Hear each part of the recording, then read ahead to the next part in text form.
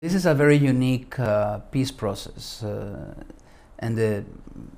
largest, the most important difference with other peace processes is that victims are actually participating in the deliberations uh, in Havana, particularly presenting their cases. And this, of course, touches a very sensitive fiber in a conflict that uh, degraded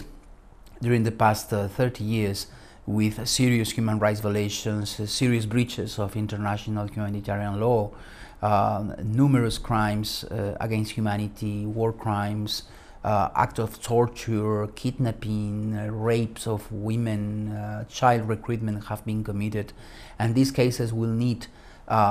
some doses of judicial accountability. So the agreement will need to take into account this participation in a substantial manner, but in a way through which it, it will not affect the viability of the peace agreement and the implementation of the peace agreement because one of the main challenges here is that the peace process needs to create incentives